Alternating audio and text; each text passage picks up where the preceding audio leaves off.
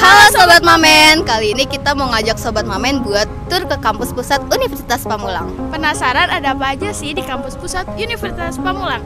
Yuk let's go! I do the same thing I told you that I never would. I told you I changed, even when I knew I never could. Oke, jadi di belakang saya ini adalah gedung rektorat.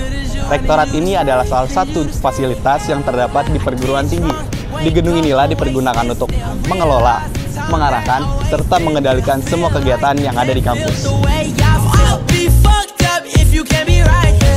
Oke guys, jadi di belakang ini ada gedung auditorium. Fungsinya untuk acara-acara seminar dan acara kampus.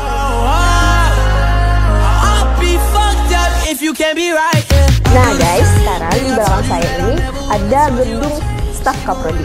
Nah, gedung ini biasanya digunakan untuk segala kegiatan yang berkaitan dengan akademik.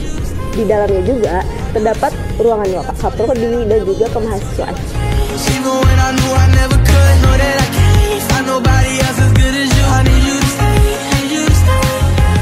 Ruang IT support. Nah, pada ruang ini biasa dipergunakan untuk mahasiswa yang mengalami masalah sistem seperti e-learning atau Mayumpa. Sekarang kita sedang berada di tempat yang biasanya digunakan untuk mengurus segala kegiatan administrasi.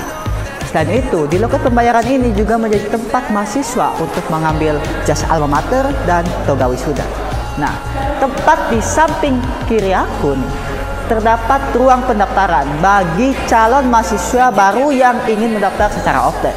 Kalian bisa langsung datang ke ruang pendaftaran ini untuk mengambil formulir atau mengurus segala hal terkait pendaftaran.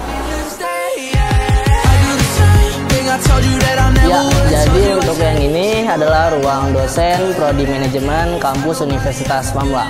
Jadi di ruangan ini untuk mahasiswa Unpam bisa menemui dosen untuk mengurus akademik maupun yang lainnya. I need you to stay, need you to stay. Nah, sekarang kita sedang berada di Masjid Darul Ulum Kampus Pusat Universitas Pamulang. Biasanya ini para mahasiswa menunaikan ibadah sholat di sini. Selain itu juga eh, ada kajian-kajian keagamaan dan lain-lain. Nah, buat kalian juga yang mager nih ke lantai 6, bisa banget sholat di eh, musola yang ada di basement bawah lantai 1.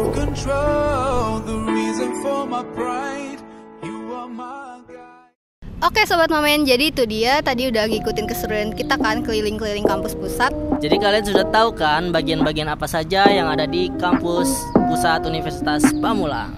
Oke mungkin sekian dari kami, see you!